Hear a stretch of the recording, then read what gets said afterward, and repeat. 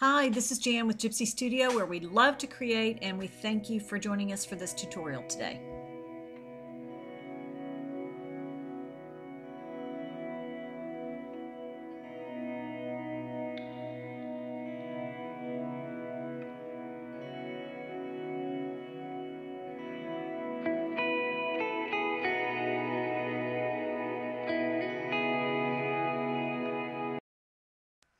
All right, let's get started. You can use any paper. I'm choosing to use this uh, Canson watercolor pad because I found it at an estate sale and it will work great for testing out this tutorial. It's got a smooth and a rough side. I'm going to be using both sides just to see how I like it. We're going to be using three different gessos. The first one is the Liquitex gesso and it's usually a gesso that everybody uses. It has a pourable consistency. Also, I got in my recent Cheap Joe's order their a sample of their Joe's really good clear gesso, so we're going to try that one. And then finally, my favorite gesso, which is from Utrecht. It's acrylic artist acrylic gesso, and it is really, really thick, almost like a paste. I use it for all my acrylic underpaintings because it is the best one I've found for that purpose. So we're going to try all three for this gesso resist with stencils tutorial. So I'm squirting out just a little bit of the Joe's Clear. We're starting with that. I'm going to do this on the rough side of the paper. And I put it in a little uh, container like that because it's easy to sponge. Now I'm going to speed this up so you don't have to sit there and watch me sponge gesso through the entire uh, stencil. So we'll speed that up. Again, you just need a light coating. Uh, you can do it haphazard or you can fill in every space. It's up to you and there you can see the result. The uh, the next gesso that we're going to use is the Liquitex gesso, and you can see how much more liquid that is. So that's going to go on a little bit thinner. Uh, you have to be careful that your sponge is dry so it doesn't uh, get get too wet and go underneath your stencil. Again, I'm going to speed this up, but that goes on beautifully, and you can see the result there. It's a beautiful result with the Liquitex and the stencils. I'm going to be doing many more stencils, but I'm just showing showing you these, uh, putting on the gesso with just a, a few of the stencils. And finally, the Utrecht gesso is really thick. It's like modeling paste or uh, stencil paste. So I use a key card or an old credit card or something like that, scoop it up and just scrape it through the stencil.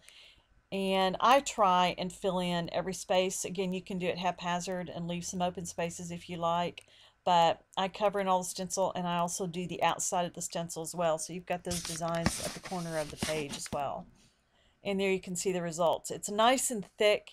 It gives almost a, it gives a raised effect definitely.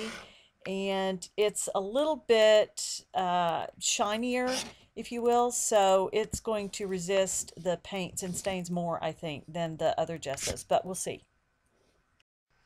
Okay, I wanted to do one more stencil because I really like this ginkgo leaf stencil and it turned out really well. It's easy to sponge the gesso through and it turned out so well I may even save this, let it dry and flip the stencil and add more leaves onto it but as you can see it really turned out beautifully and I think I'll use the distress stains on this one uh, for a lighter look so we'll see how that works out. Okay, I won't uh, make you watch me stencil or put gesso through stencils anymore, but I did want to show you a variety of other stencils I have that I may use. Uh, and then I'll show you the results afterwards. Um, houndstooth check, that's a good background stencil there. I also have some smaller stencils like this Harlequin one and I have a vintage ledger stencil, a mask, that's a mask there with numbers. Uh, so I'll use these or a combination of these with the various gessos and then show you the results once I've let them dry. Oh, this is Donna Downey's Poppy one. Love that one. And so I'll do some more stenciling, let them dry, and then uh, catch up with you and show you the results once they're dry. Okay, so here is a quick run through of all of the gessos. This is the Utrecht gesso, so you can see it really uh, gives you a nice raised effect. This is the Liquitex gesso. This one is Liquitex, turned out beautifully. Liquitex gesso on the wallpaper one, the ginkgo leaves as well, and then the harlequin as well. Then I did some smaller ones, and this is the clear gesso. You can't see it, but we'll see how it works with the inks. And then some small test strips I made. Okay, so now the fun begins. We're going to start with this stencil gesso that I used for, with the plaid stencil and the Harlequin. I'm using the Adirondack Color Wash in Sunset Orange and Red Pepper. And I love that color combination, but I don't like the sprayed look. So always having a shop rag handy or art studio rag handy. And I'm going to just smooth it out to make sure that I get complete coverage and also get that smooth look. I like that much better, but we'll see what happens with all the other ones that we do. So there's that one. The This is the Adirondack Color Wash as well. And uh, I believe those color, it was the purple and the magenta or plum color. And spritzing those on just in a random manner. And then also using the Radiant Rain. Uh, has a little bit of a glimmer to it. And I love that. And again, I'm probably going to do the same thing here and smooth it out a little bit because I think the gesso shows up more. Uh, I may leave one of these with just the sprayed look and see how it dries, but I love the way that this looks uh, like almost like velvet wallpaper, but I love that look. Okay, here are the poppies. I'm going to do this with orange and uh, wild plum, I believe that is, and I sort of like the way that this is uh, looking and I decided to try and spritz a little water on it to get rid of some of those spray spots worked really well and then I started loving what was happening with this. So I may just leave this one exactly like it is because it turned out so gorgeous. We'll see how this one dries and I will show you afterwards All right, here are the ginkgo leaves. I'm going to use uh, broken china and uh, peeled paint, I believe is the color of the distress stains on this one. I know it's going to give me a little bit more of a pastel look, which is sort of not my thing, but uh, we'll see how it works. I'm spritzing it with water first, as you see there, to kind of give it a little bit more flow with the stain, and then just randomly putting the stains on. Again, I don't like that streaky look, so I'm going to take my Artist Studio rag and kind of smooth it out. I'm going to spray a little bit more water and then smooth it out a little bit with the rag. I probably didn't choose the two best color combinations, but I've only got three, and the other one was Vintage Photo. So this, I think that turned out nice. And then here's my Moroccan uh, stencil, which I love. Again, uh, I'm using bright colors. This is the plum and turquoise color, or crushed grape and turquoise. And I'm going to try and use one of the other stencil gessos to pick up the paint off of that versus using the rag and we'll see how that turns out. I kind of like the mottled look that it left on the Moroccan stencil so I'm going to leave that. And then I'm going to add a little of the Radiant Rain Shimmer to my uh, letter stencil here which I think turned out great.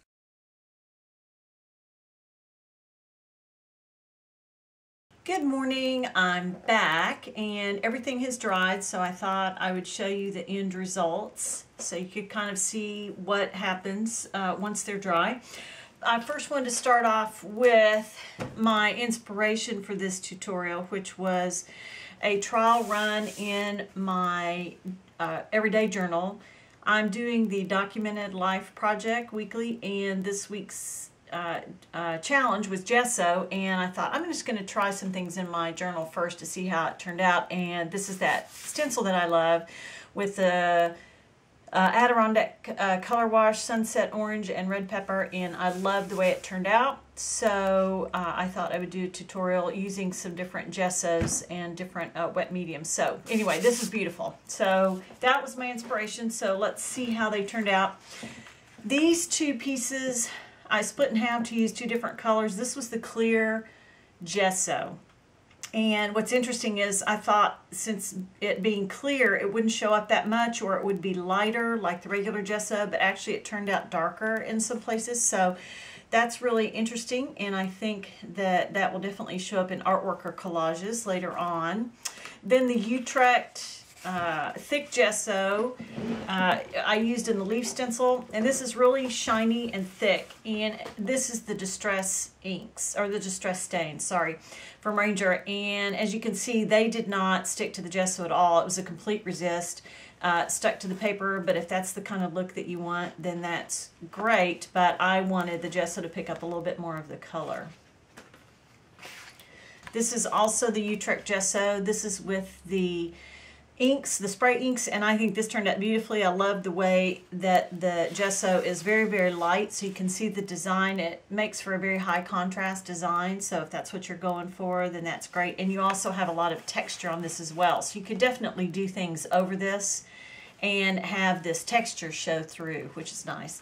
And this is another one that I did with the Utrecht gesso. Again, very raised, uh, and the gesso turns out very, very light uh, in, uh, in this, with this kind of technique.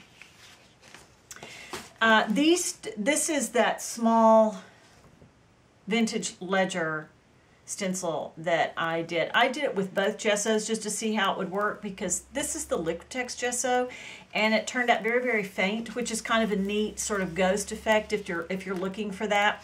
But with stencils that have this really really small uh, design uh, the Utrecht, I think the Utrecht gesso turned out really well. It held the design really well, and so it's much more distinct. So if you've got some stencils that have really small designs like this, then the Utrecht thicker gesso might be what you want to go for.